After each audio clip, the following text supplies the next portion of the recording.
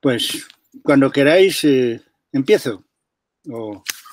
Então, eh, primeiramente, me deixem apresentar o Ah, professor Bernabé. Aluno, sim, claro, é um amigo pessoal, do qual me orgulho muito, mas também é um amigo da Arcai, da Cátedra Unesco Arcai, da Universidade de Brasília, tem participado conosco de várias atividades, várias, eh, vários eventos, alguns deles, devo dizer, que foram construídos em volta do próprio Alberto Bernabé, porque nós queríamos muito né, poder ter ele conosco. É, obviamente, como todos os grandes pesquisadores da nossa área, Alberto, ele é, dispensa apresentações. To- Todos vocês sabem quem é Alberto Bernabé, mas eu gostaria de destacar três coisas importantes, mais porque é, nós estamos aqui sempre com jovens alunos, um pouco desavisados ainda sobre a comunidade internacional da nossa.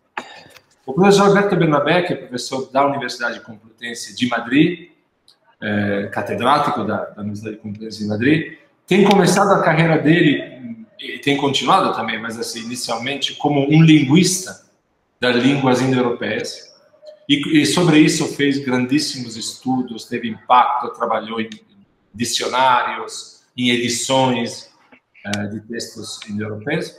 E, num certo momento da carreira dele, Alberto, por, graças, eh, nós somos muito gratos por essa escolha, foi se dedicar ao orfismo e aos textos órficos, editando os textos órficos, primeiramente, é a, melhor, a mais importante edição é, é dele, e fazendo um trabalho, especialmente nos últimos 20 anos, se me permite, Alberto, de interpretação dos textos órficos, não somente de filologia, portanto, ou de linguística, mas de filosofia mesmo, eh, e de antropologia, enfim, eh, dos textos órficos, que tem mudado, cambiado, de fato, a maneira como nós estamos olhando para esses textos. Não vou me cansar, portanto, de dizer quão importante foi e é o trabalho que o professor Alberto Bernabé está fazendo para recolocarmos no lugar a nossa interpretação das origens da filosofia e do pensamento e da religião antiga. O, eh, vou fazer uma pequeníssima propaganda, se vocês me permitem, que é a propaganda deste último livro que o professor eh, Bernabé publicou na nossa coleção Arcai, originalmente em português, entre religião e filosofia, e que é o resultado da participação dele na, na eh, terceira, da segunda Summer School Arcai, que foi em Santa Catarina em 2018. Ele manteve um curso para nós, em que fez a leitura crítica exatamente de alguns textos filosóficos, mostrando eh, problema de tradução e mostrando também como é necessário eh, trabalhar a questão da religião, esses textos, para poder entender a filosofia que eles eh, carregam. Então, esse aqui é o livro, ele está ehm, disponível no site da, da editora Ana Blume, que é a editora que publica a Arcai, mas em breve também estará disponível gratuitamente, eh, num acordo que fizemos com a Universidade eh, de Coimbra, a imprensa de Coimbra, será disponível gratuitamente em PDF, né, em PDF, no sítio da Universidade de Coimbra. Então, Então, se quem gosta de ler o papel, compre o livro. Quem eu gosto. Quem não gosta de ler o papel, espere que vai sair em breve uma versão gratuita e, em PDF eh, desse livro.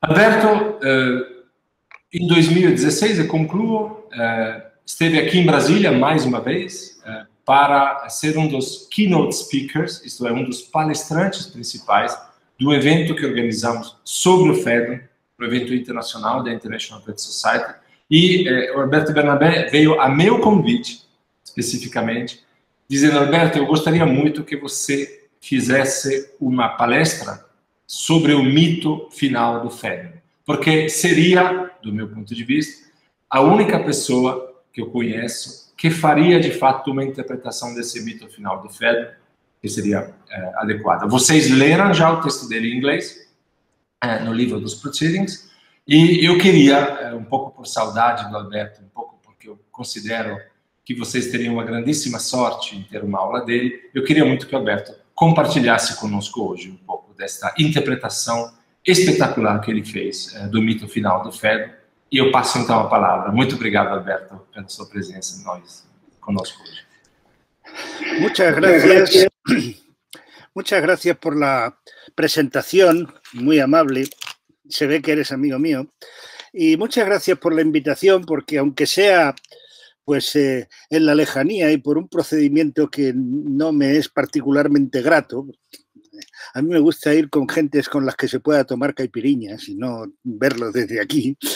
Pues muchas gracias por invitarme porque me permite pues hablar de cosas que, que me gustan, que me divierten y en fin, espero que pueda ser útil. Me excuso por no ser capaz de hablar su lengua eh, y espero que se me entienda bien. Yo les entiendo a ustedes perfectamente, de manera que yo espero también. Los entiendo a ustedes mucho mejor que a los portugueses de Portugal, que eso creo que les pasa a ustedes exactamente lo mismo. Bien, eh, lo que pretendo es clarificar en lo posible el sentido y la función que tiene este mito en el marco del diálogo y señalar eh, sus puntos principales. No podemos tratarlo en profundidad, es un mito muy largo, nos llevaría mucho más tiempo del que ustedes serían capaces de soportarme. Eh, y lo que intento señalar es la, el sentido y la función que puede tener este mito en el marco del diálogo y señalar los aspectos, especialmente los relacionados con el destino de las almas en el más allá. Y dentro de esta cuestión me interesará especialmente un asunto que se ha discutido, o lo que es peor, a menudo se ha dado por supuesto sin crítica, en sentido positivo o en sentido negativo, esto es, si eh, Platón mm, se refiere a unas doctrinas desde luego son unas doctrinas que se apartan notablemente de las tradicionales en el mundo griego, de manera que frente a este hecho de, que Platón plantea unas doctrinas atípicas dentro del mundo griego, la pregunta es si son una creación de Platón, como creen algunos autores, digamos que eh, los estudiosos de Platón se dividen entre muy, muy, estoy, estoy simplificando mucho las cosas, ¿no? Entre aquellos que consideran que Platón lo inventa todo y, que crea todo de la nada, y aquellos otros que creen que Platón se limita a adaptar una serie de ideas ajenas. La realidad, como siempre o como casi siempre, no es ni una cosa ni la otra. Es decir, lo que trataré de ver es, lo que trataré de hacer es comparar las eh, aportaciones de Platón en este mito con teorías existentes en su época, órficas o no, eh, y ver en qué medida se continúan o en qué medida se eh, alteran, se modifican o incluso se desvirtúan. Para ello, pues acudiré a testimonios, a testimonios paralelos.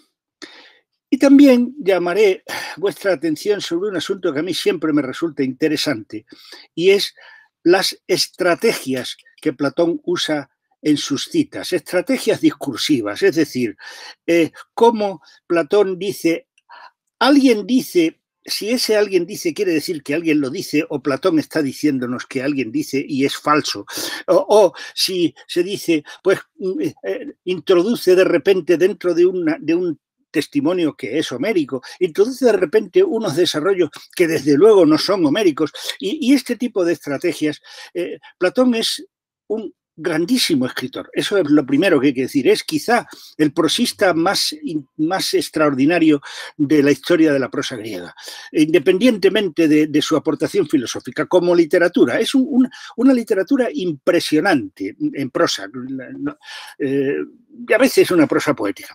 Bien, eh, de manera que eh, entonces voy a, hacer este ejercicio de comparación y me servirá de ayuda eh, una selección del texto del mito que les, les he hecho llegar, acompañados de traducción española de Carlos García Gual con algunas correcciones y en el que también he introducido algunos paralelos.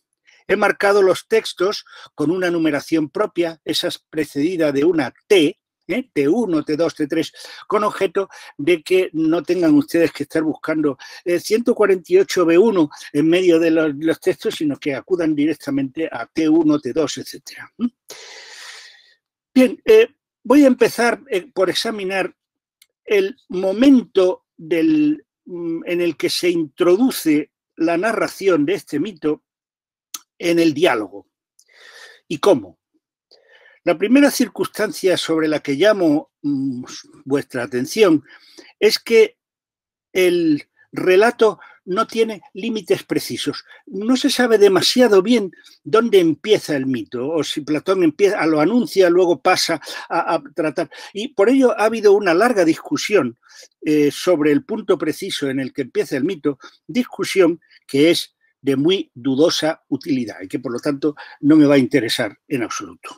El hecho es que una vez que se introduce la discusión sobre el alma y se ha llegado a la conclusión de que el alma es inmortal, Sócrates introduce un nuevo aspecto. Bueno, aquí es un poco complicado, porque a veces voy a decir Sócrates, a veces voy a decir Platón. En realidad no hay Sócrates y Platón. Eh, Sócrates es el personaje, Platón es el autor literario.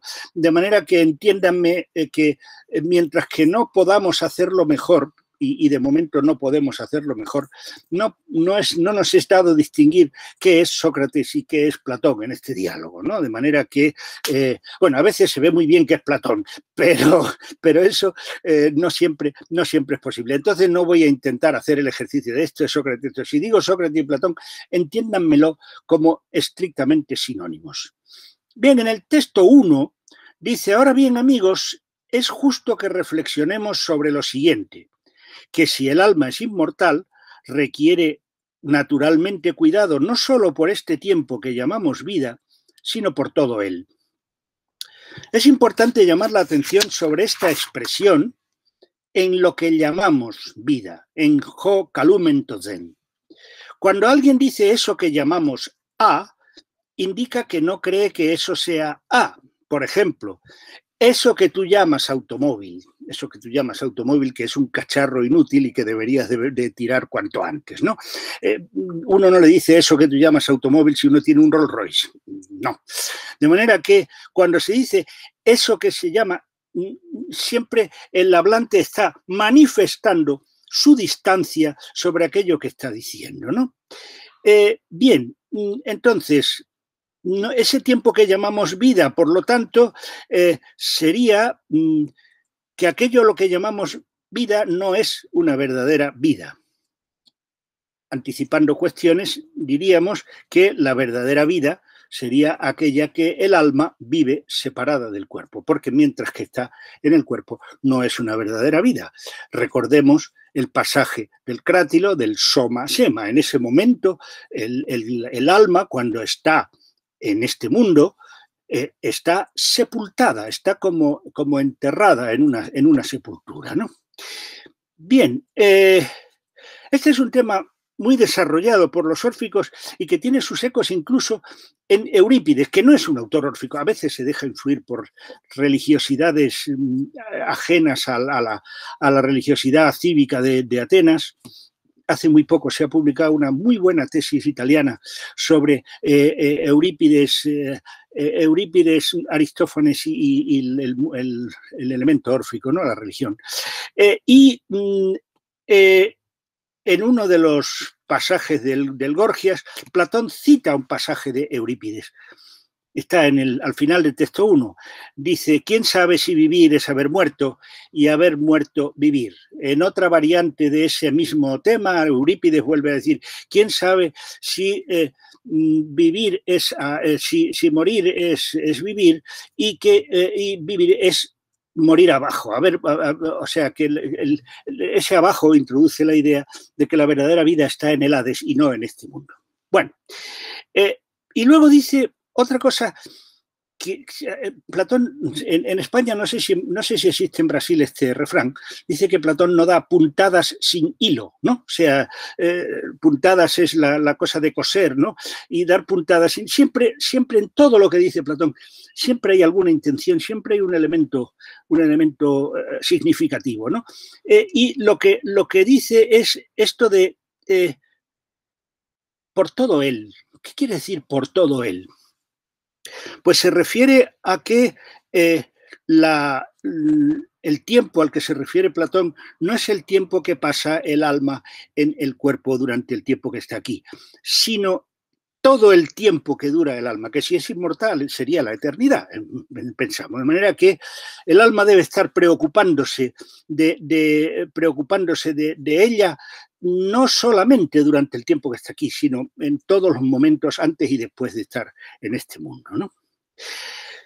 Continúa Sócrates en el mismo pasaje diciendo, podría dar la impresión, precisamente ahora, Ahora es, naturalmente, el momento en el que el filósofo está a punto de morir, ya lo sabemos por, el, por lo que trata el fenómeno. De que hay un terrible peligro si uno se despreocupa de ella. Ya os advierto que la palabra peligro es constante a lo largo del Fedón. Constantemente se está hablando del riesgo, del peligro. ¿no? y, bueno, luego haré una referencia un poco mayor a esto. Y sigue, sigue Sócrates. Pues si la muerte fuera la separación de todo, sería para los malos una suerte verse libres al morir del cuerpo y de su maldad a la par que del alma. Es decir, lo que Sócrates argumenta es que si la muerte fuera una cesación de todo, el alma no estaría sujeta a castigo, porque con la muerte desaparece y por lo tanto se libra de ese castigo merecido por cuantas maldades ha podido hacer en este mundo. O se libra también en, el caso de, la persona que ha llevado una buena vida, sería también injusto porque no tendría una reparación, un premio a esa vida que ha llevado. De manera que si la muerte fuera cesación de todo, argumenta Sócrates, eh, habría sido igual haber sido un santo o un desalmado durante el tiempo de la estancia del alma en un cuerpo.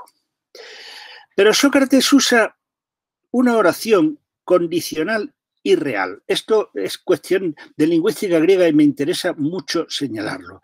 El griego tiene un rico juego modal para las afirmaciones. Puede decir, yo tengo, es real, puede decir tuviera, es potencial, es decir, si yo tuviera ahora tiempo, bueno, que no lo tengo, pero podría tenerlo.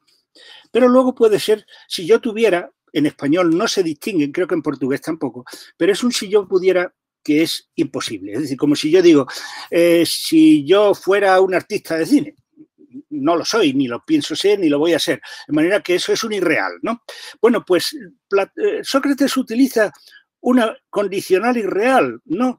Eh, de manera que si la muerte fuera cesación de todo, no está expresada como una posibilidad, está expresada como eso que se llama un hecho contrafactual. Es decir, si, eh, yo digo, eh, en otra vida yo sería, pues es contrafactual, eso no es la realidad. Estamos hablando de una cosa que no existe. De manera que cuando Platón dice, si, si la muerte fuera separación de todo, está queriendo decir que naturalmente no lo es. Esto es, muy importante. No, es, no se plantea como una posibilidad, se plantea como una imposibilidad. Por lo tanto, la única posibilidad que acepta eh, Platón es que el alma sea inmortal. Esto es eh, muy importante señalarlo. Bien, eh, claro, cuando luego aparece la partícula nin, aprendemos en griego que nin significa ahora, una referencia al presente. No siempre. Nin también se utiliza para pasar de estas realidades contrafactuales, es decir, eh, si yo mm, tuviera un millón de euros, mm, pero luego dice, pero el hecho es que, ¿eh? pero ahora en, la, vida real, en, la realidad, no los tengo. Por lo tanto, ese nin eh, es indicación del retorno del discurso al ámbito de lo verdadero. De manera que lo que sigue a continuación, que es fainetai usa, no quiere decir parece ser, como uno traduciría, sino es manifiestamente. Es evidente que es. De manera que deberíamos traducir, pero de hecho, en cambio, dado que el alma es manifiestamente inmortal, eso sería la, la traducción de este pasaje. A partir de esta premisa, que está tomada como indiscutible. Es decir, eh, bueno, aquí nos ha hecho, nos ha hecho eh, Platón una de sus características trampas. ¿Por qué es indiscutible? ¿Mm? bueno, pues porque se afirma como indiscutible. Y ya está. se ha argumentado esto de que, de que pues no se podría pagar el castigo. Bueno, pues a lo mejor es que no se paga castigo. ¿Qué le vamos a hacer? La vida es injusta y es mala. No, no. juega con este tipo de, planteamientos por el cual ya nos sitúa ante una realidad como imposible y la otra es la única que nos queda por, continuar. ¿no? Bien. Eh, a partir de esa premisa, como digo, la cuestión que se plantea es la necesidad de que el alma se haga la mejor y la más sensata posible, lo cual evidentemente trasluce una idea, no hace falta que se exprese, de que el alma mejor eh, y, y, buena tendrá en el más allá un destino mejor que el alma peor y mala. De manera que la discusión sobre la inmortalidad del alma, con estos juegos de prestidigitación a que tan aficionado es Platón, ha sido llevada de repente al terreno moral.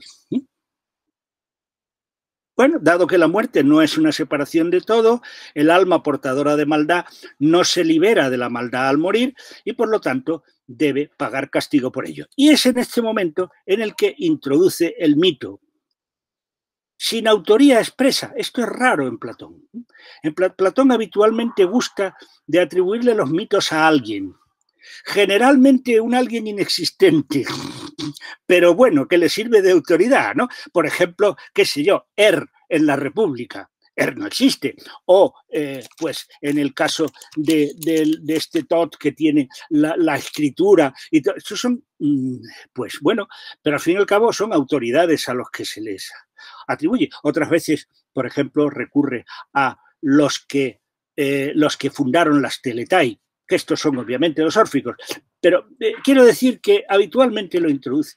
Pero aquí no, aquí introduce Legetai. Legetai, que además se va a repetir. Es decir, Legetai no solamente va a aparecer aquí, sino que va a aparecer eh, mm, posteriormente otras veces. ¿Qué ocurre con Legetai? Bueno, pues que Legetai, primero, eh, es voz, voz media y no se expresa sujeto se dice, un día en francés, ¿no? ¿Qué, dice? ¿quién, lo dice? No, pues mm, se supone que ese se dice es como si dijéramos una especie de verdad aceptada socialmente, ¿no? como cuando uno, ya sabéis lo que se dice de que no hay, no, no hay, los buenos principios tienen, los malos principios tienen buenos finales, ¿no? Se dice, ¿quién, quién lo dice? Pues eso mm, no sabemos quién lo dijo por primera vez eh, y además es igual, es decir, es, ¿cómo diríamos? Remitir a un hecho consabido, ¿eh? consabido, en el sentido etimológico de consabido, que sabemos con, que todos damos por bueno que eso es así.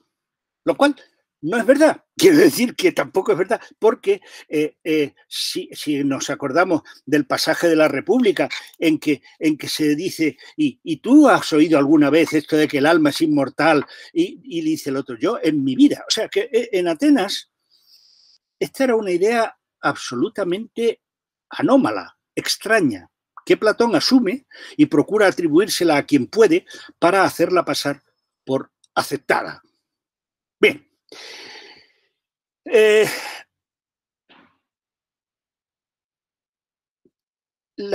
por otra parte, forma parte de la estrategia de Platón, en el sentido de que como el mito es en gran medida una construcción suya, el mito que vamos a, ver, eh, no, en gran medida, prácticamente todo es una construcción suya, salvo algunos elementos, pues eh, está haciendo pasar eh, ese postulado suyo como si fuera propio de una tradición conocida y habitual, lo cual por un lado lo exime de precisar su origen concreto y por otro le permite conferirle al relato una cierta garantía de verdad comúnmente admitida ambas cosas son también una trampa, son un, juego de manos, una, una posición de Platón, porque esto en Atenas no se decía. O sea, que este se dice no es verdad. Bien, eh, a pesar de que Platón eh, no le atribuye el relato a una fuente expresa, sí que hay una serie de referencias a lo largo del diálogo que definen con claridad el ámbito en el que Platón lo sitúa. Eso lo estudié más detenidamente en la ponencia que, que di eh, allí. ¿no? Ahora me voy a simplemente a, a, resumir un poco la cuestión. Están en el T4, que figuran ahora mismo en la parte inferior izquierda de lo que tienen en sus, en sus pantallas. ¿no? Ahí, bien. En primer lugar, Platón había aludido en 62b a la doctrina de los círculos secretos, en aporretois, ¿no? Aporretos es aquello que se dice apo, es decir, que se dice en otro lugar de donde está la gente común, común o, la generalidad de la gente, ¿no? No es lo mismo que arretos, ¿eh? Arretos y aporretos son cosas distintas. Arretos es una cosa que no se dice o que no se puede decir porque es indecible o porque está prohibido, ¿eh? arretos. Pero apórretos es una cosa que se dice en un círculo, en un círculo que no es el nuestro, en un círculo concreto, ¿no? Entonces, ese eh, en aporretois, pues quiere decir en los círculos secretos. En los círculos secretos ya nos dice el escolio que son los misterios y no tenemos por qué dudar del testimonio de los escolios. Es decir, doctrina órfica. En 63c habla de que se dice de antiguo, palai legetai. Palai legetai es la forma de referirse a un palaios logos. Palai legetai, palaios logos. ¿Y qué es un palaios logos? Pues palaios logos es la forma que Platón habitualmente tiene para referirse a la literatura órfica, que tiene de interesante que es antigua, palaios, y a veces la llama hieros logos que es sagrada. Esto de antiguo, hago un inciso, un inciso pequeño. Actualmente un estudiante le dice a otro, estoy encantado, he encontrado un artículo que no está todavía publicado y que he podido leer porque me lo ha dejado el autor, que dice lo último sobre la filosofía de quien sea. Un griego diría, estoy encantado, he encontrado un texto de hace 1500 años que dice una cosa muy sabia de hace mucho tiempo. Es antigua, si es antigua es sagrada y si es sagrada está en relación con los dioses y por lo tanto es verdadera. Eh, por lo tanto, los griegos se pasan la vida tratando de hacernos ver que las cosas que se les ocurren son antiguas. Esto es una cosa que llama mucho la atención porque todo el mundo eh, señala que los griegos eh, son gente que crea pensamiento original constantemente. Sí, pero intentan evitar que, se, que uno se dé cuenta de que es original. ¿eh? Esto es muy importante. Es decir, todas las cosas originales que se dicen se intentan hacer pasar por antiguas. Un ejemplo por poner uno, ¿no? Eh, el Protágoras de Platón, ¿no? En el Protágoras, Protágoras dice, no, no, los sofistas no son una cosa de ahora, Orfeo era un sofista y Orfeo estaba antes de la guerra de Troya, o sea, en 1300 antes de Cristo, ¿no? Eh, si hubiera existido, claro que no ha existido. Por más que yo me he dedicado tanto tiempo a, esto, de verdad que es frustrante dedicarse a una cosa que no ha existido nunca. Bueno, pero en fin, esto es, esto es una, una broma. Bien, de manera que entonces eh, Platón pues eh, está aludiendo a esta especie de sabiduría antigua que anda por ahí y que atribuimos normalmente a los, a los órficos. Pero sin decirlo, esto es una cosa que también Platón evita mencionar a los órficos por su nombre porque los órficos vienen acompañados de una serie de añadidos que a Platón no le interesan. Es decir, a Platón le gusta de los órficos eh, la idea de la transmigración, la idea de la inmortalidad del alma, estupendo, pero no la idea básica de los, de los órficos de que uno puede solucionar los pecados de este mundo por la vía del ritual. Eso para Platón es horrible. O sea, que un individuo haya sido un, un, eh, individuo absolutamente perverso a lo, largo de, a lo largo de su vida y llega el último momento y se inicia. Esto es algo que también molestaba, por ejemplo, a, a Diógenes eh, el cínico, ¿no? Dice, eh, a lo mejor Epaminondas y, otras personas importantes están en el, en el, barro cicando porque no se han iniciado y un recaudador de contribuciones, que era lo peor en aquella época, ¿no? Y un recaudador de contribuciones, pues va a estar eh, en, el, en el Elíseo porque se ha, se ha iniciado, ¿no? De manera que hay aspectos del orfismo que a Platón le interesan y mucho, son cruciales en su, filosofía, y otros que le parecen absolutamente abominables, como este de la, del elemento ritual. ¿no? Bien, eh, por eso también en el, en el, texto 14, que luego veremos, no lo pongamos ahora, habla de los que instituyeron las teletai. Bueno, las teletai son unos ritos eh, en los que más que honrar a los dioses se buscaba solución para los problemas propios, es decir, las teletai eran los ritos que se celebraban para librarse de la angustia, para librarse del miedo, para eh, asegurarse una existencia mejor. Es decir, algo así como sería hoy ir al psiquiatra, ¿no? De manera que hay un poco, en fin, esto, a veces digo cosas muy frívolas, yo lo reconozco, pero en fin, eh, eh, sería un poco esa, esa función, la de las teletai, ¿no? Bien, eh, y mm, luego en 70C habla otra vez del antiguo relato y en 80B argumenta en que se distingue un alma psige semejante a lo divino y un cuerpo soma mortal y perecedero diferencia que de nuevo está en la estela órfica a partir del texto del Soma Sema que todos conocemos. Y en el 80D vuelve a anunciarse que determinadas almas, entre ellas las del propio Sócrates, estarán en compañía de los dioses, mientras que en 81A se introduce o se atribuye esta idea a los iniciados en los misterios. Bien, eh, termino con las últimas dos referencias. En 82b se dice que la estirpe de los dioses, a la estirpe de los dioses no tiene acceso sino el que ha ido tras haber eh, filosofado y estar enteramente puro. La pureza para ser aceptado entre los dioses es un requerimiento de las laminillas de oro, de los, testimonios más seguros que tenemos del orfismo en época clásica. ¿no? Eh, y mm, lo que ocurre con Platón es que convierte la pureza ritual en pureza filosófica, es decir, la pureza para Platón es ser filósofo.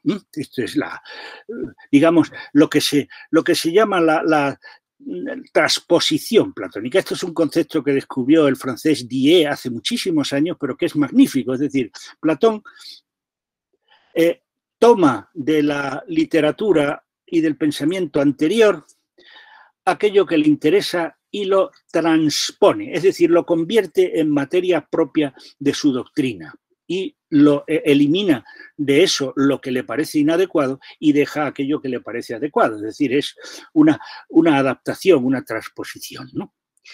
Bien, eh, de manera que mm, estamos en este ambiente en donde a lo largo del, discurso, a lo largo del, diálogo, se ha ido eh, señalando pistas, ¿no?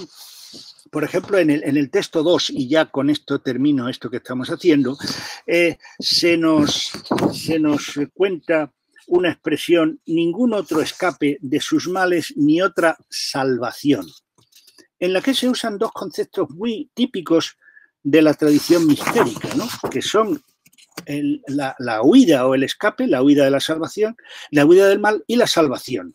Y os eh, pongo, os puedo citar un par de ejemplos de, los misterios que creo que no he puesto, no sé si los he puesto en la en el, en el handout o no. Eh, eh, sí, sí, están, están en el, T4 al final, arriba a la derecha del handout, ¿no?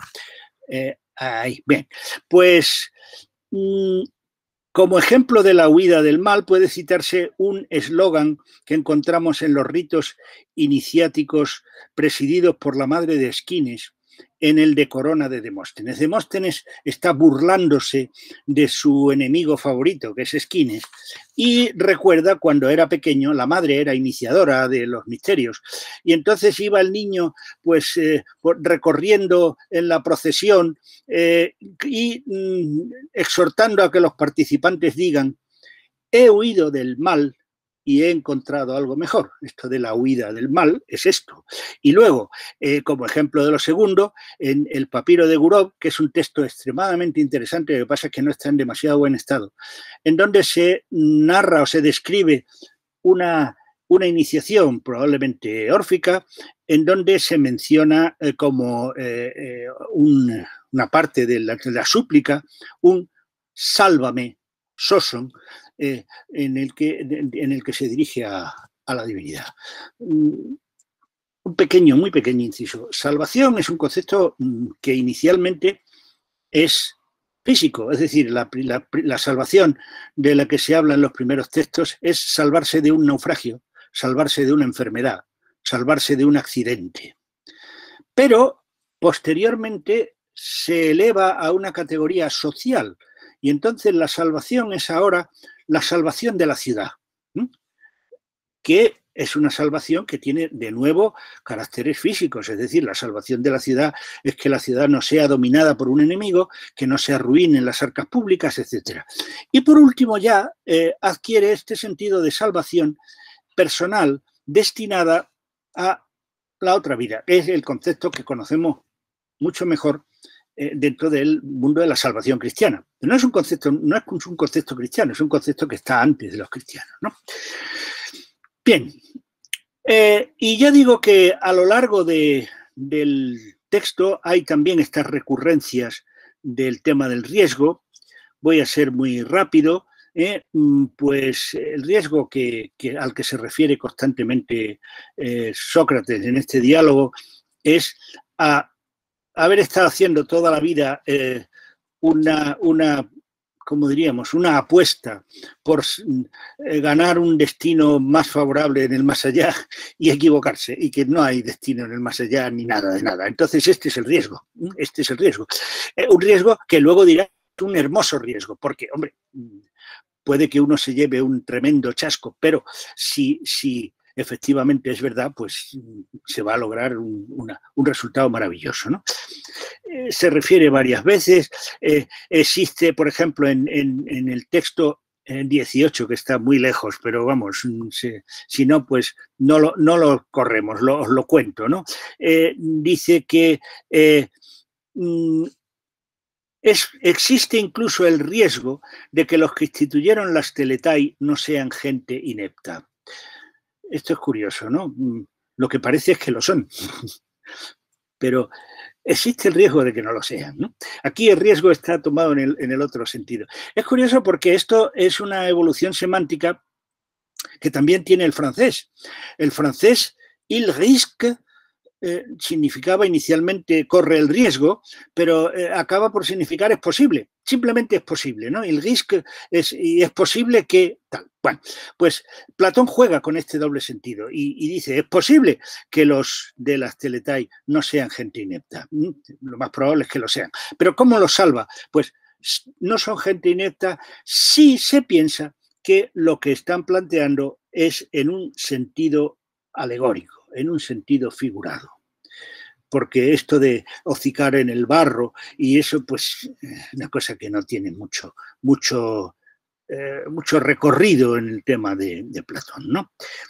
Bien, y el clima de esta recurrencia es al final de todo, como vamos a volver, no hace falta que lo veamos ahora, pero ya lo anticipo, hago un poco, un poco de, de esto que se llama ahora, ¿no? de, anunciarles uno el final de la... Pero fin, aquí no, no, hay problema. Eh, que dice que, que existen esas cosas o algunas otras semejantes en lo que toca a nuestras almas y sus moradas, eso me parece que es conveniente y que vale la pena correr el riesgo pues es hermoso el riesgo. Esto es el, punto culminante de este, recorrido del tema del riesgo a lo largo del, diálogo. De manera que podemos, mm, todo parece indicar que el autor ha ido sembrando de pistas sobre el ámbito en el que se mueve, aunque sin decirlo claramente, ¿no? Aunque sin decirlo claramente. Eh, una acumulación tan significativa de alusiones deja claro que el ámbito de referencia al que alude el legetai socrático es a los ritos mistéricos y, en primer lugar, a los órficos. Pero no, no, no es tan claro porque él de ninguna manera quiere que se confunda el postulado que él está haciendo con el postulado real de los órficos. El orfismo es ritualista. El rito por sí solo no puede de ninguna manera provocar la liberación. De manera que Platón va preparando a lo largo del diálogo un clima mistérico, un ambiente, pero conduce hacia una escatología final en donde todo se subvierte, es decir, la iniciación es la filosofía, los premios en el más allá eh, no son eh, este, estos premios de estar comiendo constantemente, como se, como se dice en, en, el, en, el, en, la República, ¿no? sino que eh, es otra cosa, es una, una, vida filosófica sin cuerpo. Esto es algo completamente nuevo de, en Platón. ¿no? Bien, pero volvamos al texto número 5, volvamos otra vez al, al, al Fedón, en donde lo que se cuenta es el Egetai, eh, es decir, lo que Platón pretende hacernos pasar por doctrina generalizada, es que cada uno tiene un demon asignado, que entre otras posibles funciones tiene la de llevar el alma a un lugar en el que será juzgada y una vez juzgada llevarla al Hades para que paguen una compensación por sus acciones, buenas o malas, ¿eh? compensación, no estoy hablando de castigo. Si son buenas acciones será eh, una, un premio y si son malas acciones será un castigo. Paremos un momento. ¿Qué, qué es un demon? ¿Mm? ¿Qué es un demon? La principal dificultad que tenemos para entender a qué llaman los griegos demones eh, son unas entidades imprecisas cuyo nombre valía a lo largo del tiempo y que son concebidas de modo muy diverso eh, los primeros textos demon es una, una designación que se refiere a los dioses, pero no a, todos los dioses, sino a los dioses en tanto que no sabemos qué dios es o en tanto que el dios se manifiesta. Es decir, eh, hablamos de demones cuando vemos que, que, ocurre algo, ocurre un accidente, ocurre un, un, una cosa extraordinaria. Entonces eso indica un demon, es decir, un dios que se hace presente. Eh, de manera que demon se utilizaría en, este primera, en estas primeras eh, usos como el dios cuando lo, dice bastante bien, eh, lo dice bastante bien eh, este, mm, Emilio, Emilio Suárez, ¿no? que es el, el dios cuando o no se sabe quién es o eh, se, se, advierte su presencia, pero sin que nosotros podamos determinar, determinar quién es. En cambio, eh, el papiro de Derbeni, que es un texto enormemente interesante porque está un poco, como si dijéramos, en la divisoria entre los presocráticos y, Platón, ¿no? lo cual es una cosa muy interesante porque anticipa cosas de Platón, pero todavía no hay nada de Platón en el, papiro de Herbeni. Hay, como si dijéramos, eh, como premoniciones, prefiguraciones. ¿no? Y ya en el papiro de Herbeni se nos habla de una, doctrina filosófica de los demones que... Mmm, es una especie de idea de, unos seres intermedios, unos seres que están, eh, que están eh, para eh, mm, establecer las relaciones entre los seres humanos y los dioses que no se relacionan directamente entre sí. ¿no?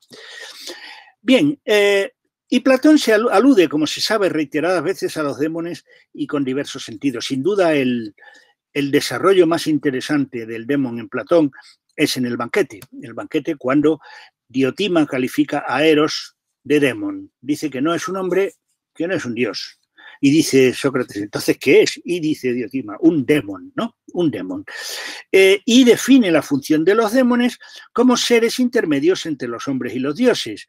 Eh, en relación con, con eh, Eros, que es precisamente este, esta personificación del carácter intermedio, es hijo de Penía eh, y de Poros, o sea, del dios que todo lo puede, y de la pobreza, de manera que por una parte desea, aspira, pero por otra parte carece de, y todo este tipo de cosas. Entonces los demones entran muy bien en esa configuración de seres que están a medio camino entre los, los dioses eh, y los hombres, ¿no?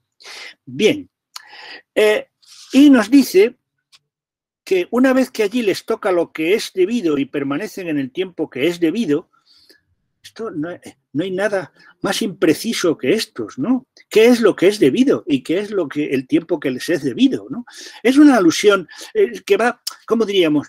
Eh, eh, es muy curiosa la estrategia, de, la estrategia del Fedón, porque Platón va presentando, va asomando mm, temas que deja un poco en el aire, luego los vuelve a retomar y cuando ya los retoma la tercera vez, el lector los considera familiares y parece como que son efectivamente de toda la vida y no lo son, no son de toda la vida, son una cosa que Platón ha, inventado. ¿no? Entonces, pues ya va diciendo que hay algo que les es debido a las almas en el más allá. De momento no sabemos lo que es, pero hay algo que les es debido. Y que además eso que les es debido está sometido a un tiempo, a un determinado tiempo.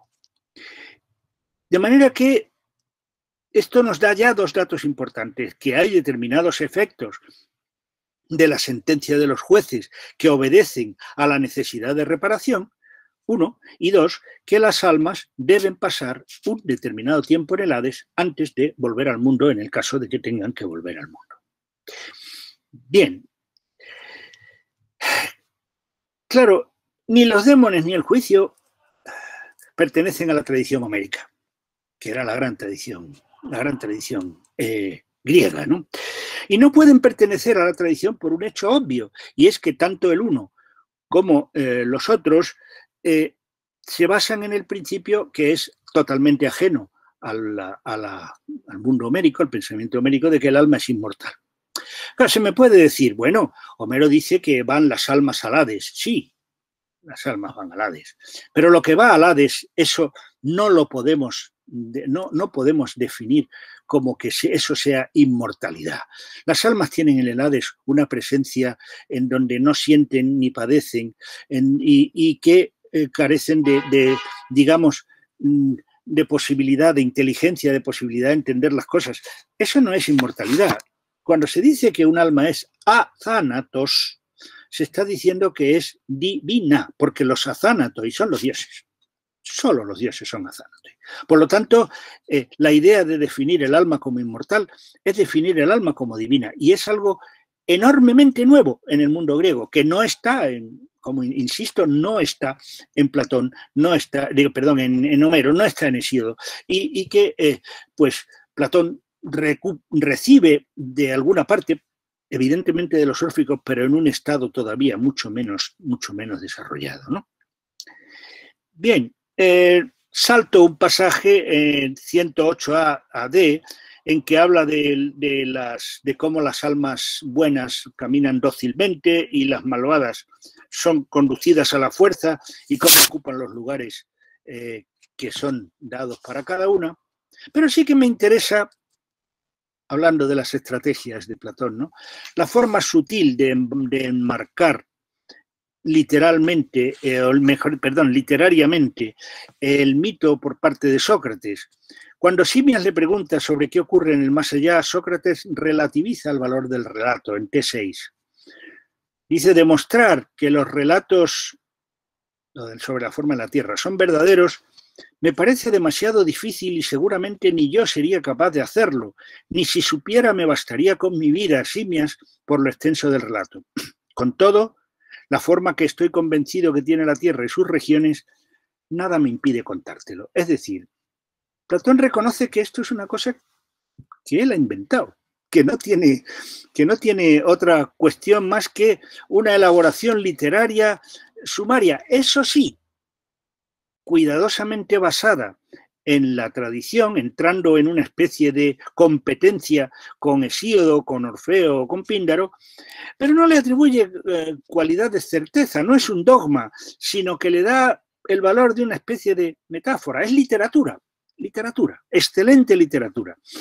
Bien, salto de, los detalles, me limito a señalar que se trata de un intento de situar en un mapa los lugares infernales en competencia con donde los situaba la poesía épica anterior, eh, esto de las cimas de la tierra, los ríos infernales, esto estaba en parte en Hesíodo, está en parte en los órficos, eh, pero Platón lo eleva y, lo convierte en, un, en, una descripción espléndida, una, una, descripción literariamente maravillosa, pero que ya no tiene nada que ver con toda esa tradición que está. Pero lo que, lo que él quiere hacer con esto, lo que yo creo que quiere hacer con esto, no, no, pretendo, no pretendo estar en la cabeza de, en la cabeza de Platón, ¿no?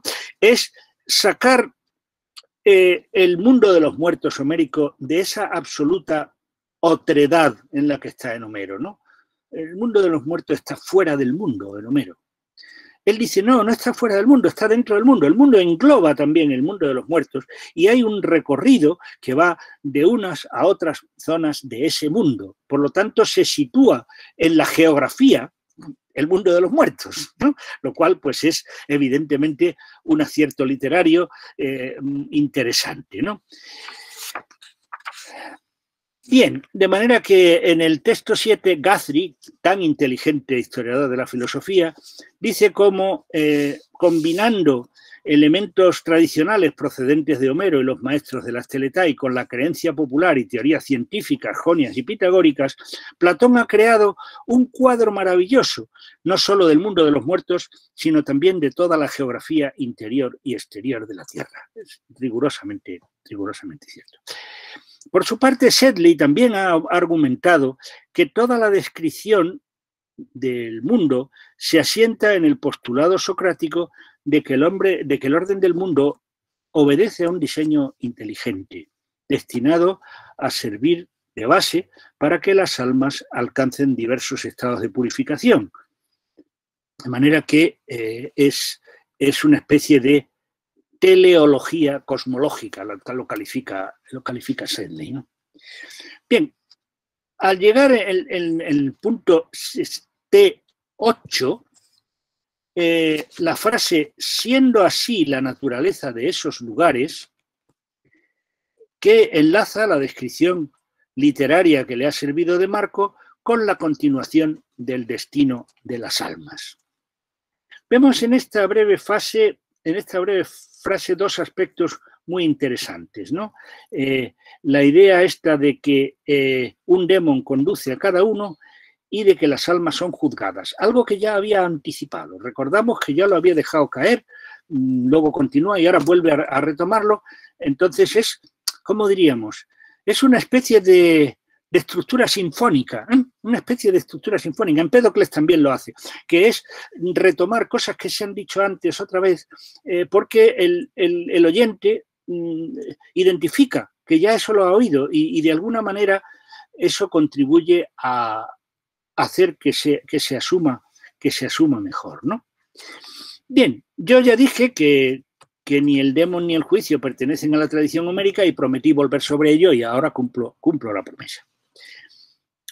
En cuanto al demon, eh, se alude varias veces a él, y en el caso de los órficos, las láminas de oro, que son nuestra principal fuente para el recorrido del alma postulado por los órficos, no mencionan en absoluto demones que guíen las almas. En cambio, tiene importantes puntos de contacto con esto el papiro de Derbeni. Es decir, en el papiro de Derbeni, en el texto número 9, se mm, dice, hay un demon para cada uno benévolo, que ya Sansanoglu, eh, digamos que señala un poco jocosamente que es una especie de ángel de la guarda, a la letra, ¿no?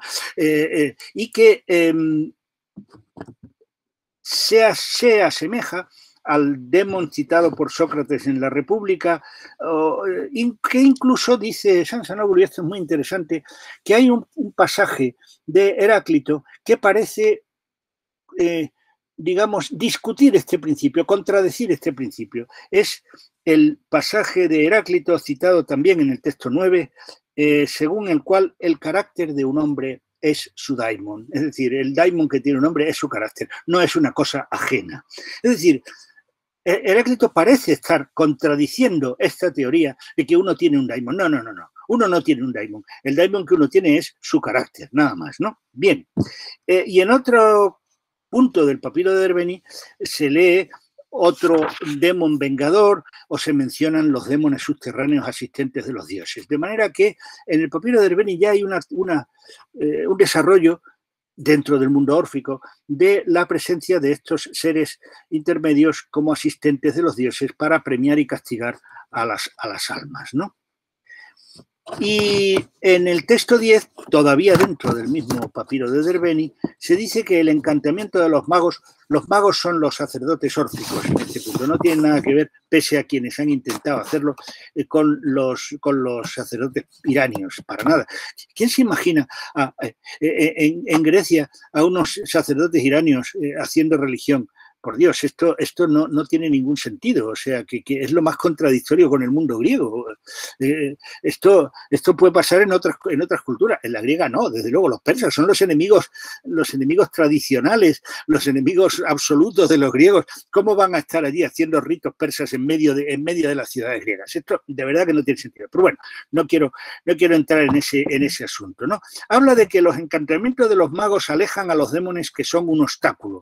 Es decir, que eh, los demonios están impidiendo la, marcha del, individuo al más allá porque no merece llegar al más allá y esos demonios son vengadores y esos demonios están tratando de, evitarlo, ¿no? Y por eso dice que hacen los magos un sacrificio como si pagaran una pena. Este pagar una pena eh, es, se refiere a la costumbre griega de que cuando uno comete un homicidio eh, puede ser recibir la venganza de la familia del difunto o pagarles a la familia del difunto una compensación, que se llama poiné, que es esta misma palabra exactamente. De manera que lo que hacen los sacerdotes órficos es que eh, están eh, alejando a esos demones que están impidiendo la, marcha, como si estuvieran pagando a, esas, a, a los demones, pagando una compensación y lograr así que el individuo camine hacia un destino en el más allá. Bien, por otra parte, los jueces infernales eh, no se dice, por muchísimas partes se dice que son órficos, pero no aparecen jamás en los órficos, más que en un texto que es enormemente tardío, en un, se llama el papiro de Bolonia, y que probablemente está influido por Platón. Es decir, que, no mm, de ninguna manera eh, los, los, jueces aparecen eh, a lo largo de toda la literatura ártica. Cuando llegan los, las almas al más allá, las laminillas, dicen una serie de frases, ¿eh?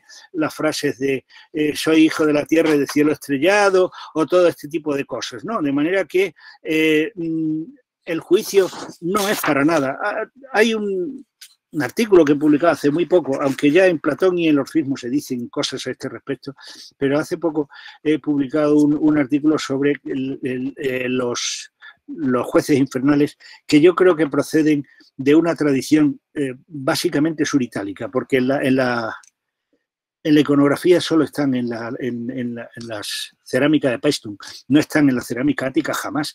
De manera que esto todo parece indicar que es una creación de Platón. De manera que no consideremos en absoluto que los jueces infernales son precisamente al revés. Para Platón, los jueces infernales son la manera de conjurar el ritualismo de, las laminillas. Es decir, en lugar de que tú te salves o te condenes porque sepas en un momento decir soy hijo de la tierra del cielo estrellado, pues no, te salves o te condenes porque has sido sometido a un juicio, además un juicio por unos jueces que no son corruptibles, que no son los jueces que han condenado a Sócrates, que son otros jueces, los verdaderos jueces que se dice en la, en la apología, ¿no? Y demás. O sea que por eso, pues es, eh, es interesante, ¿no? Bien. Eh, de manera que se hablaba en 108A, que no lo hemos analizado, de almas premiadas y de otras castigadas por su impureza. Eh, bien, ahora ya se va a, desarrollar eh, este principio de, los premios y los castigos. Una elaboración muy literaria y muy interesante que va desde los textos T12 a T16 y que no voy a leer detenidamente porque si no nos lleva mucho tiempo, sino que voy a hacer un resumen. Platón distingue cinco tipos de situaciones que no son presentados en gradación. Quiero decir, eh, si calificáramos como el mejor al 1 y el peor al 5, no son presentados 1, 2, 3, 4, 5, sino que son presentados 3, 5, 4, 2, 1. Es decir, el autor quiere dejar a los filósofos en el punto climático, en el punto final, por eso el uno está al final, eh, y el situar a los que alcanzan un peor destino en el centro, como otra especie de clímax. ¿no? Eh, en concreto, la distribución es la siguiente. Está, la distribución está en el texto 17. Quienes parece que han vivido moderadamente son en la gradación los terceros. Esos se purifican en el Aqueronte, pagan penas por sus delitos y reciben honores por sus méritos. B en la gradación sería el 5, el peor, el peor de todos, ¿no? En T13, a los que se estima que son incurables a causa de la magnitud de sus faltas. Es decir, aquellos que han cometido sacrilegios, asesinatos injustos y otros crímenes por el estilo. Esos no tienen salvación. No hay posibilidad de salvación para esta gente. Por lo tanto, los arrojan al tártaro y no van a salir jamás de allí. Esto es el destino peor de todos. Luego están los que parece que han cometido faltas graves pero remediables, es decir, estos son mm, eh, el penúltimo peor, el cuatro, ¿no? Eh, que van al tártaro, pero no para siempre, sino que se liberan cuando persuaden a sus víctimas. Es una especie, por así decirlo, de broma, una especie de purgatorio, ¿no? En el cual tienen que eh, convencer a aquellas personas a las que han ofendido o han, digamos, cometido algún tipo de delito contra ellos, de que los acepten. ¿eh? Si consiguen que los acepten, pues entonces vuelven otra vez a un lugar, a un lugar mejor. Luego están los que se estima que se distinguieron por su santo vivir, que son el número dos en la gradación, es decir, son especialmente buenos. Y esos ascienden a la superficie para llegar a la morada pura y establecerse sobre la tierra, no bajo la tierra, sino sobre la tierra. Eh, esta es esa especie de idea. Para los órficos, los premios y los castigos se pagan en el mismo sitio. Es decir, no hay un cielo y un infierno, hay un infierno bueno y un infierno malo, para que nos entendamos, ¿no?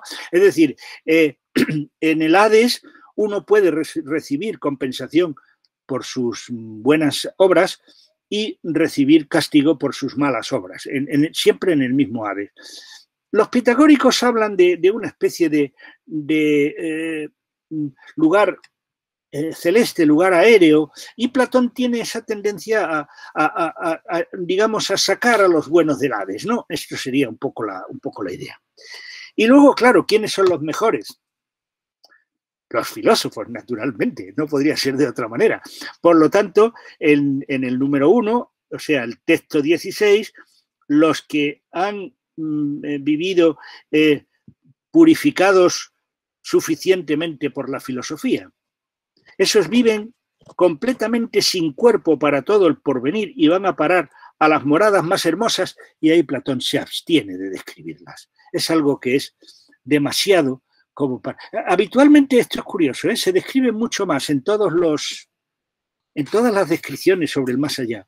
Se describen mucho más los lugares malos que los buenos, ¿no? O sea que si uno cuenta con las versiones que se hacen cristianas, el infierno está lleno de eh, calderas, de fuegos, de tenazas, de... Y el, y el, cielo es un sitio muy aburrido donde la gente toca la lira y no sé, o sea que ah, hay chistes, en España se cuentan chistes de, gente que se van al infierno porque dicen que el cielo es muy aburrido, ¿no? Bueno, pues, eh, pues un, poco, un poco esta idea. Aquí pasa lo mismo, el cielo, eh, este lugar maravilloso, ya, pues ni, ni lo contamos, porque es que además Claro, hay un problema y, podemos decir, ¿por qué no lo, no lo, describe? Claro, es que si dice que son eh, completamente sin cuerpos, ¿Cómo va, a, ¿Cómo va a describir un lugar corpóreo? Es que no, no, es algo que es muy complicado de describir, es un, espacio que no sería espacio, un, espacio que carece de, volumen, que carece de, forma, que,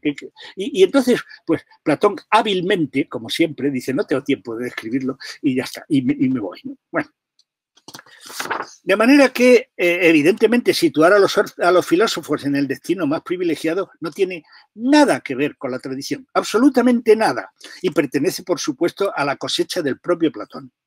Y en general, toda la enumeración es una, es una elaboración literaria propia, aunque sí que hay puntos naturalmente, en eso Platón es muy hábil, puntos de la descripción en donde eh, hay similitudes con la tradición. ¿no? Eh, me voy a referir a un par de, a un par de casos. ¿no?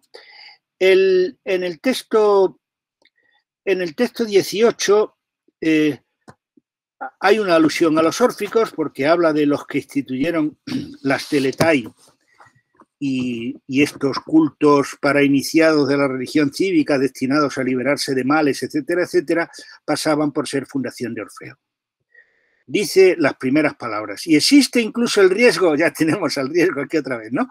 De que los que instituyeron las teletai no sean gente inepta, sino que en realidad se indique de forma simbólica desde antaño, etcétera. Ya me he aludido a este pasaje. Primero, la alusión al tema del riesgo. Segundo, esta posibilidad de que los, de que los órficos no sean una gente inepta parece remota en sus labios. Platón de ningún modo quiere ser confundido con los órficos. Tercero, si no son propios de gente inepta es porque su mensaje debe ser interpretado no como lo que parece significar, sino de forma simbólica. Con ello Platón se destaca del seguimiento de los ritos, seguimiento ciego eh, de los, de los que se iniciaban, y sin embargo sigue una línea que ya se encontraba en el papiro de Derbeni.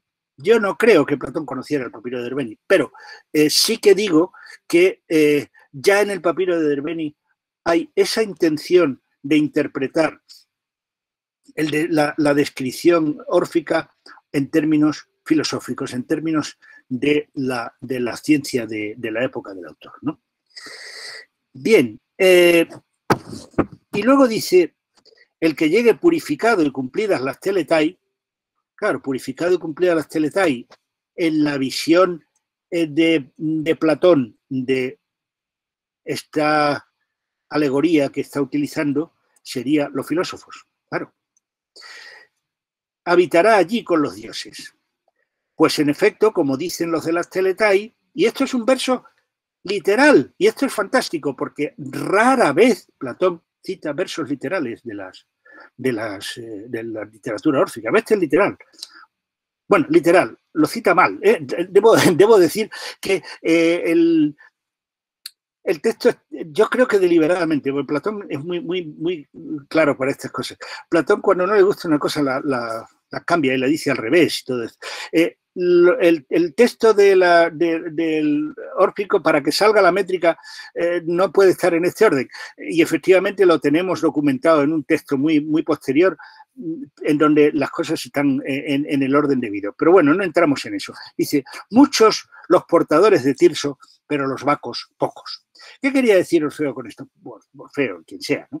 Pues que los que van a iniciarse, estos iban con el tirso, esa, especie de palo con una piña y unas cintas y tal, a iniciarse, bien, todo, todo muy bonito y tal. Pero claro, los vacos son aquellos que evidentemente se creen la religión, perseveran, continúan y mantienen una, una relación con esa religión eh, persistente, perseverante, ¿no? Entonces esos eh, son los vacos. Y dice, eh, dice Platón, y los vacos son los filósofos. o sea que, bueno, pues eh, hemos llegado a, ese, a esa idea. ¿no? Bien, el segundo pasaje que quiero comparar eh, es otro fragmento órfico, este literal, que es el texto 19. Oh, está ahí, está ahí a la izquierda, no hay que moverlo. Está perfecto, muy bien. Dice, quienes han sido puros bajo los rayos del sol, una vez que han fallecido, alcanzan un destino más grato en el hermoso prado junto al aqueronte de profunda corriente. Es decir, eh, estos que han sido puros, para los órficos pureza ritual, recuerdo, ¿eh? Eh, pero para, mm, para Platón ser filósofo la pureza, la purificación en la filosofía. ¿no? Y luego dice, los que obraron contra la justicia bajo los rayos del sol, fijaros que dice bajo los rayos del sol las dos veces, porque se contrapone lo que ocurre en este mundo y lo que ocurre en el otro mundo. ¿no? El bajo los rayos del sol es en esta vida y eh, luego el, eh, lo otro que se dice es en el, en el mundo, en el Hades. ¿no?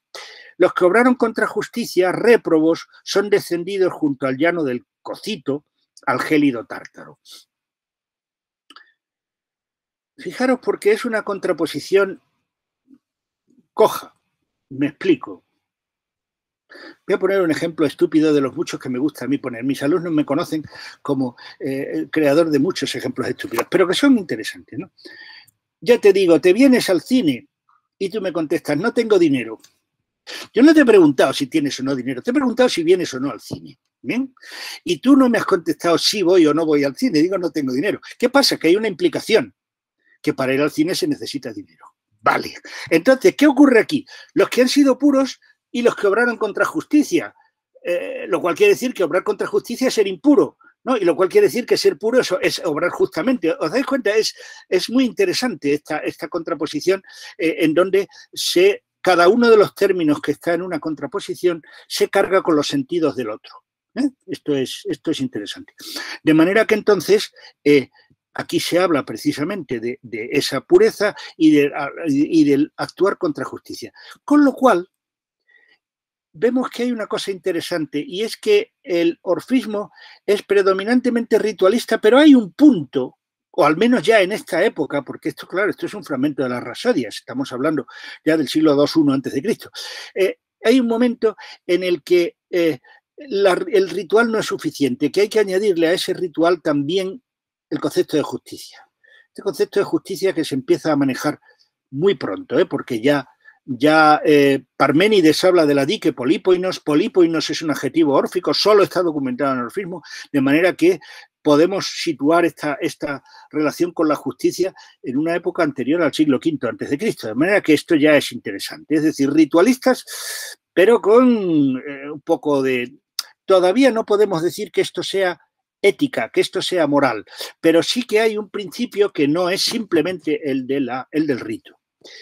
Bien, eh, bien, eh, de manera que eh, el clima de todo este relato platónico se alcanza en T22 cuando afirma que los filósofos obtienen un destino totalmente diverso. La grandísima innovación del pasaje es presentar la imagen de seres totalmente privados de cualquier lazo corpóreo. Claro, cuando vemos toda la las referencias al más allá eh, antiguas en Homero, por ejemplo, pues Odiseo llega a Hades y reconoce a Aquiles. ¿Por qué reconoce a Aquiles? Pues porque Aquiles de alguna manera tiene una apariencia corporal. Nos resulta imposible imaginar, bueno, imposible no, nos resulta muy difícil imaginar eh, la identidad de una persona carente totalmente de, carencia de elemento corporal yo pongo otro ejemplo estúpido. Eh, ahora están representando en, Madrid una comedia musical sobre la película Ghost, ¿no? Ghost, ¿os acordáis de esa película? Eh, bueno, pues en Ghost el, personaje del muerto pues tiene las caras y el cuerpo y demás del, vivo. Luego pasa una cosa extraña, claro, si es incorpóreo, ¿cómo se sostiene en el suelo? Uno se pregunta, ¿no? Porque si no tiene corporeidad no se puede sostener en el suelo. Pero bueno, pero no vamos a ser, no vamos a aguafiestas y vamos a, dejar el asunto. De manera que lo que quiero decir es que hablar aquí de un individuo carente completamente de cuerpo es una creación intelectual extremadamente avanzada y extremadamente compleja. Bien. Eh, voy entonces a pasar a ver analogías, no sé si me estoy pasando mucho de tiempo, analogías y puestas de relieve en la comparación y luego eh, lo contrario, es decir, cosas que no, que no se parecen. La primera analogía entre el modelo órfico y el modelo platónico es que la suerte del alma en el más allá es el resultado de acciones llevadas a cabo en este mundo a diferencia de Homero, en que da igual lo que uno ha hecho en este mundo para el destino que va a tener en el más allá. En consecuencia, hay espacios distintos en el Hades como destino para los premiados y para los castigados. El Aqueronte, premio para los primeros, el Tártaro, castigo de los segundos. Lo tercero es la que la purificación, la catharsis, que por cierto es un término médico, ¿no? Es curioso, porque eh, catharsis lo que significa es cuando uno tiene una indigestión y se toma una purga para vomitar todo lo que tiene dentro y quedarse limpio, ¿no? O sea, que, inicialmente catharsis es un concepto médico, que luego pasa a concebirse como un concepto, eh, digamos, de carácter psicológico más que otra cosa. Por ejemplo, Aristóteles va a hablar de, la catharsis en su definición de la tragedia, ¿no? Por ejemplo. Bueno, pues esta purificación es un requisito para obtener el destino privilegiado. De manera que, eh, por ejemplo, en el texto 11, pues el iniciado órfico en las laminillas debe decir ante Perséfone que vengo pura de entre puros, o sea que yo, el alma, soy pura y los, las demás con las que yo me relacionaba, las demás personas con las que yo me relacionaba también eran puros, ¿no? De manera que pertenezco a un grupo de personas que somos puras, ¿no? Esa sería. Bien, también la justicia es aludida por Platón y por los órficos como requisito para obtener una, suerte, privilegiada en el más allá. Eh, por ejemplo, hay un pasaje de leyes que eh, está, creo, en el, texto 19, si no estoy equivocado. A ver.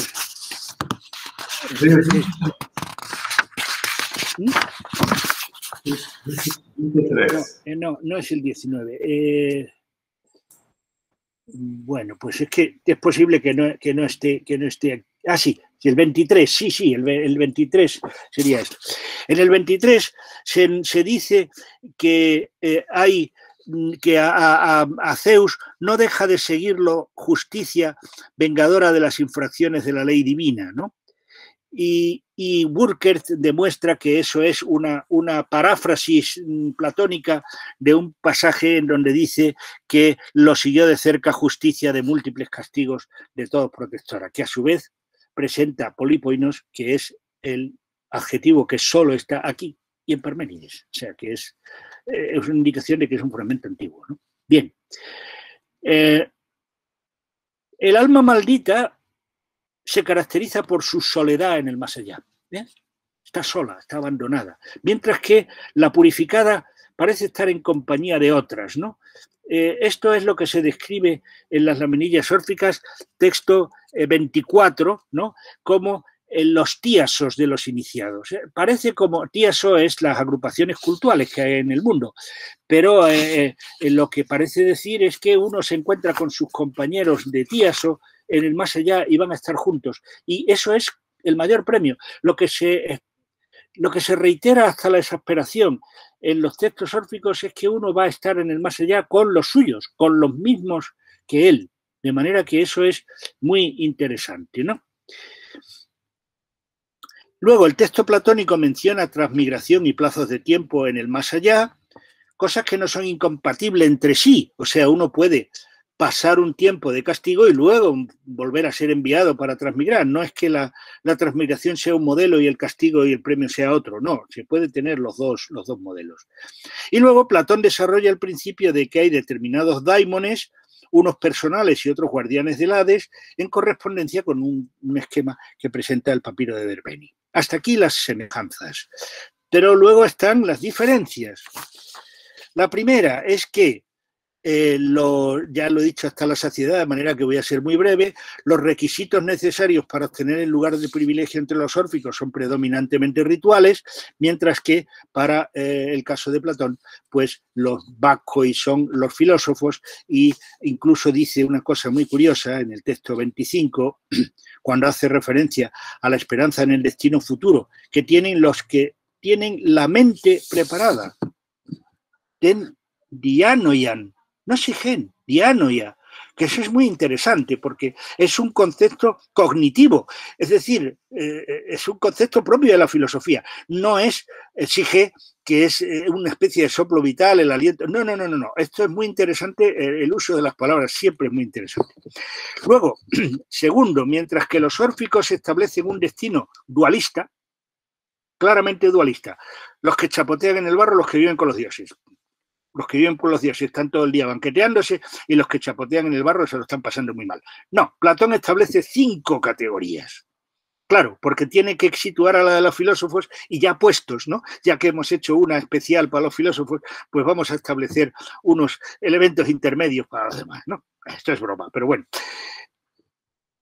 Tercero, el juicio de las almas no existe en el ámbito órfico antiguo. Esto es una creación de Platón. Eh, y la posición de absoluta preeminencia de los filósofos es, por supuesto, estrictamente platónica. Ahora, mm, claro, el problema básico que tenemos es que, a pesar de todo, conocemos la tradición órfica de un modo muy imperfecto. Entonces no podemos saber si eh, Platón encuentra algunas otras cosas en una tradición órfica que nosotros no conocemos. Pero bueno, eso yo, de, asuntos sobre los que no tengo materiales, yo soy filólogo y naturalmente no opino.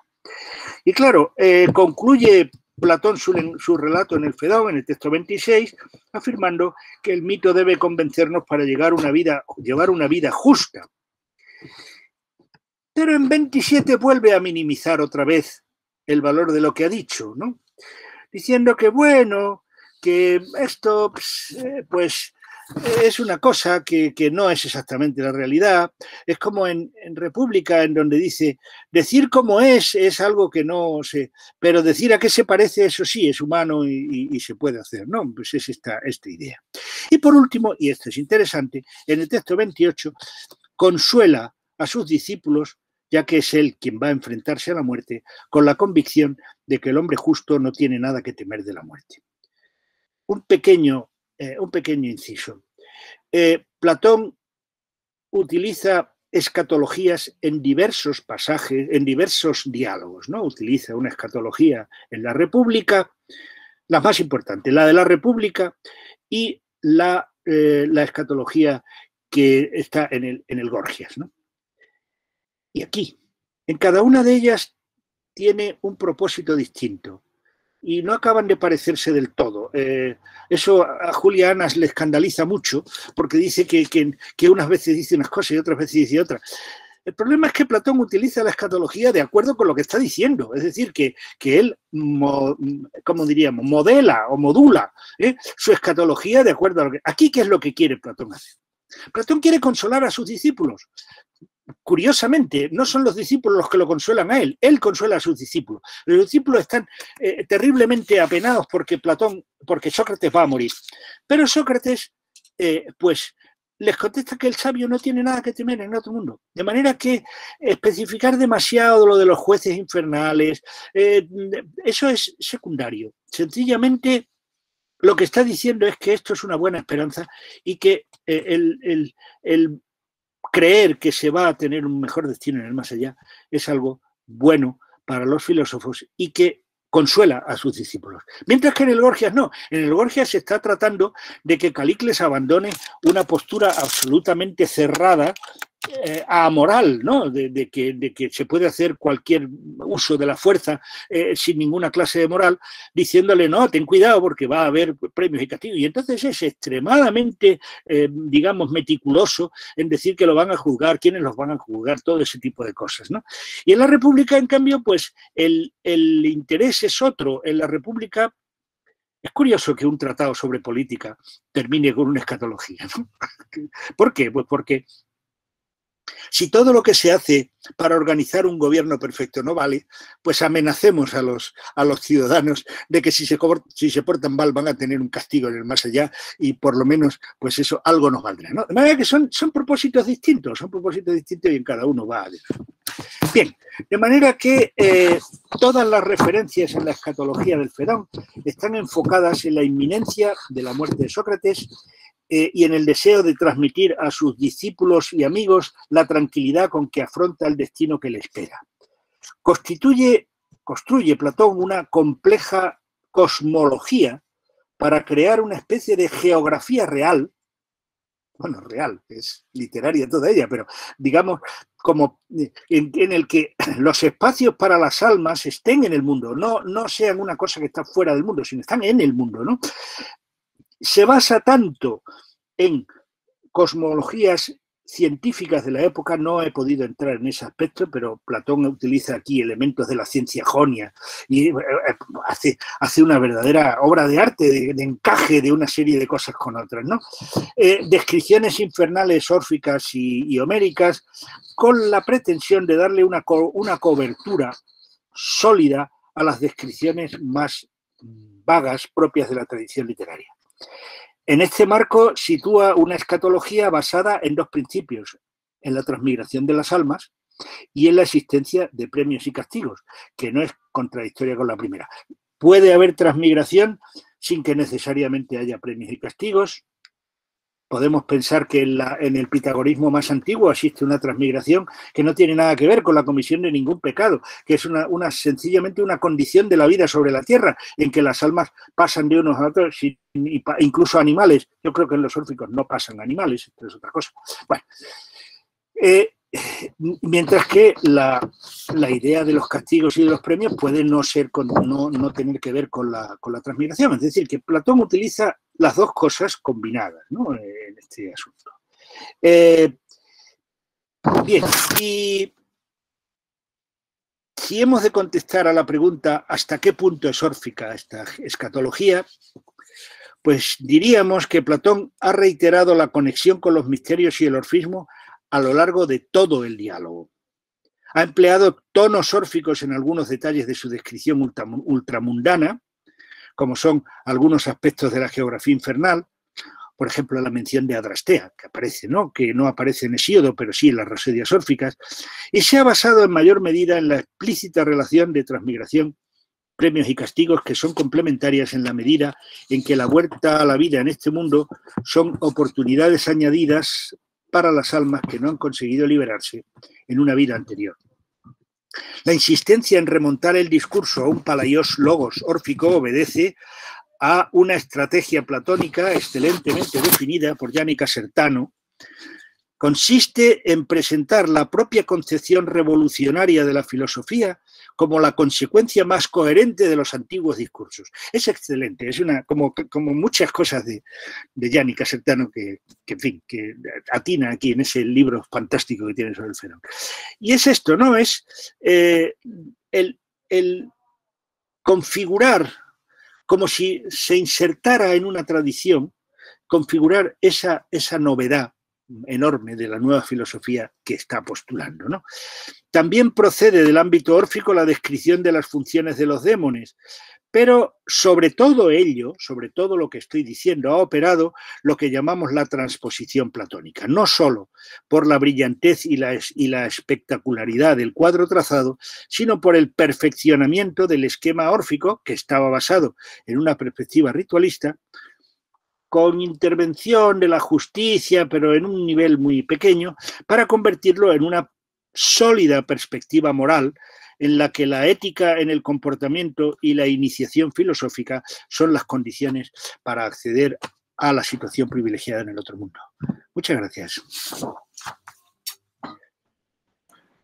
Muchísimo obrigado.